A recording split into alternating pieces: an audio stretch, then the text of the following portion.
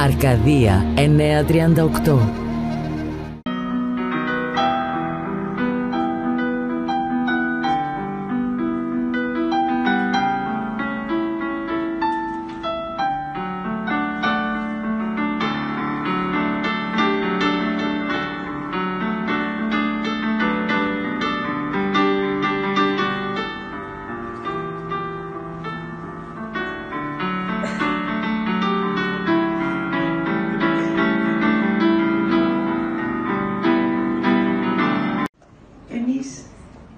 επιλέξαμε ε, την τέχνη για την ε, έξοδο της Σαββατιάτικη μας, γιατί η τέχνη είναι μια δραστηριότητα η οποία διεγείρει ε, το συγκινησιακό στοιχείο της ψυχής μας και έχει έναν τρόπο να μας προσφέρει μια άλλου είδους επικοινωνία και ευχαρίστηση σε ένα ανώτερο επίπεδο να καλωσορίσω και να καλησπερίσω την ε, απόψινή καλεσμένη μας, την κυρία Αφροδίτη Δρακοπούλου Σάρδη, η οποία ήρθε από την Αθήνα εδώ και συμμετέχει ε, με δικά της έργα φωτογραφίας εδώ ε, και ένα έργο ζωγραφικής του συζύγου της.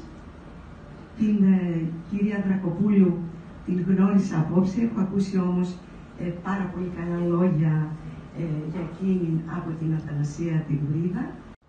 Αγαπητοί μου φίλοι, καλησπέρα. Είναι ιδιαίτερη τιμή για μένα που απόψε ανταποκριθήκατε στο κάλεσμά μου. Η εκδήλωση απόψε είναι ξεχωριστή. Θα έλεγα μάλιστα ότι χωρίζεται σε δύο μέρη. Το πρώτο μέρος αφορά στη ζωγραφική και τη φωτογραφία. Στα έργα που παρουσιάζω απόψε αποτυπώνονται τα συναισθήματα και τα ερεθίσματά μου. Αποτυπώνεται η κατάθεση ψυχής μου που ενσαρκώνεται από τα χέρια μου. Αποτυπώνονται αυτά που παρατηρώ καθημερινά και προσπαθώ μέσα από τα χρώματα και τα σχέδια να τα μεταφέρω στον καμβά.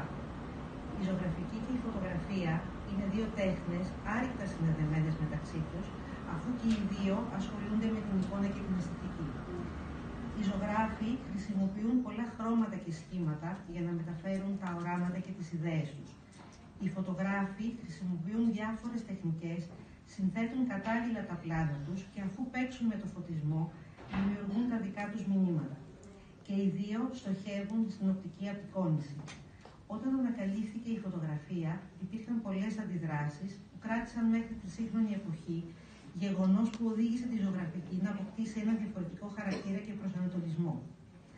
Περνώντας τα χρόνια και καταλαγιάζοντας αυτή η αντιπαλότητα, οι δύο τέχνες εξελίχθηκαν και έγιναν αποδεκτές από την κοινωνία και η μία παίρνει στοιχεία από την άλλη με αποτέλεσμα να μην τελειώνει ποτέ αυτό το παρεδώσε που όμως είναι πολύ δημιουργικό. Ε, ήταν έκπληξη για μένα, δεν το ήξερα και με έκανε να νιώσω ιδιαίτερη χαρά και η συμμετοχή και η παρουσία εδώ επίσης της επίσης καταξιωμένης οικαστικού της Κωνσταντίνας της Κρατημένου, η οποία έχει μια λαμπρή πορεία και εκείνη στον χώρο των εκθέσεων. Λοιπόν, ε, το θέμα της σημερινής έκθεσης είναι τέχνη μία αέναη διαδικασία μεταμόρφωσης. Μέσα στα πλαίσια αυτής της διαδικασίας, όλα συνεχώς αλλάζουν, αναπτύσσονται και εξελίσσονται, χωρίς την ύπαρξη μιας διαχωριστικής γραμμής από τη μία κατάσταση στην επόμενη. Δίχως σταθερά σύνορα ανάμεσα στο φως, στο ημίφος, στο σκοτάδι, αλλά με μία αμοιβαία συγχώνευση του ενός του άλλου ένας κόσμος αλλαγής που γεννιέται μέσα από την τέχνη. Ένας κόσμος που εμπεριέχει την ανυπαρξία ορίων και ταυτόχρονα τη συγχώνευση εικόνων, καταστάσεων, συναισθημάτων. Αρκαδία 938